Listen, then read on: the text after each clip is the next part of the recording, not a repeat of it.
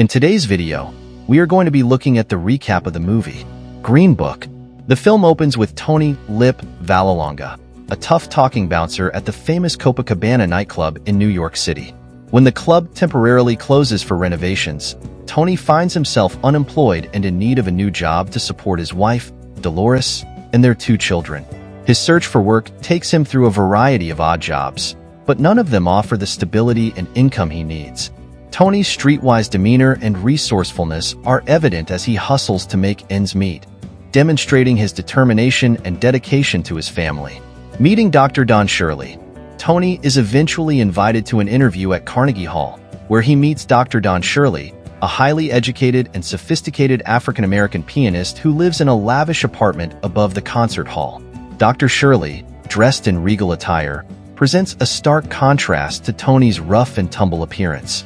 During the interview, Dr. Shirley explains that he needs a driver and bodyguard for his upcoming concert tour in the Deep South, where racial tensions are high. Despite their cultural differences and initial misunderstandings, Tony accepts the job, enticed by the high pay and the promise of a steady income. The journey of tour begins. As Tony and Dr. Shirley embark on their tour, they are armed with the Green Book, a guidebook that lists safe accommodations and restaurants for African Americans in the segregated South. Their journey begins with an awkward and tense atmosphere, as Tony's boisterous and uncouth behavior clashes with Dr. Shirley's refined and dignified demeanor. The duo's interactions are filled with moments of humor and friction, highlighting their vastly different upbringings and worldviews. Despite the initial challenges, Tony is determined to do his job well, and Dr. Shirley remains committed to his mission of bringing his music to audiences in the South. Confrontations with racism.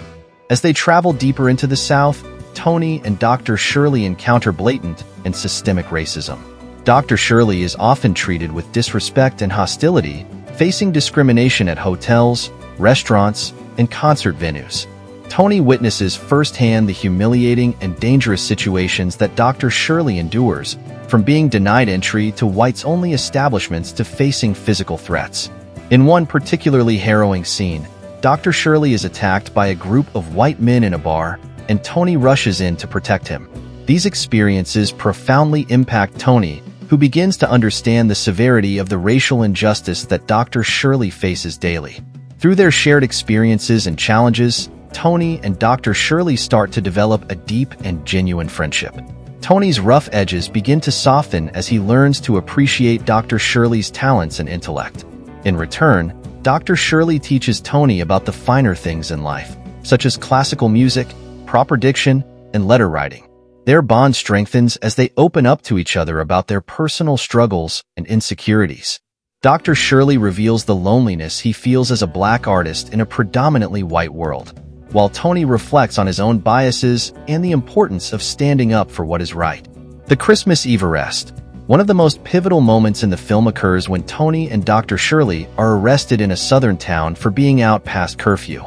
Tony had promised his wife and kids that he will be home before Christmas, so he was very anxious to go home and meet his family. The police officer made a racial comment about Tony, and immediately, Tony dashed out a heavy blow on the officer's face, and both of them were arrested. Dr. Shirley was very angry at what Tony had done. Dr. Shirley requested to make a call, and it was granted to him. Dr. Shirley uses his connections to call Attorney General Robert F.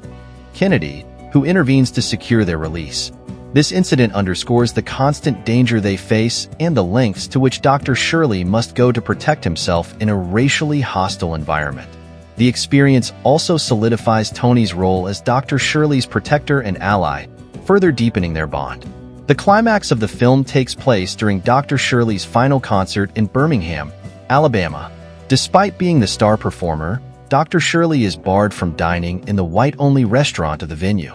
In a powerful act of defiance, Dr. Shirley refuses to perform under these discriminatory conditions and decides to leave. Instead, he and Tony go to a black blues club, where Dr. Shirley delivers an impromptu and soul-stirring performance on the piano. This act of solidarity with the black community highlights Dr. Shirley's resolve to stand up against injustice and his commitment to his principles. After completing the tour, Tony drives Dr. Shirley back to New York. They part ways with a newfound appreciation for each other and the lessons they have learned. On Christmas Eve, Dr. Shirley surprises Tony by showing up at his home to celebrate with Tony's family, symbolizing the deep friendship they have formed. This final scene underscores the film's message about the power of human connection and the ability to overcome prejudice through mutual respect and understanding. These detailed descriptions of the key events in Green Book provide a deeper understanding of the character's development and the film's central themes of friendship, racism, and personal growth. If you find this interesting, kindly like, comment, and subscribe to support this page.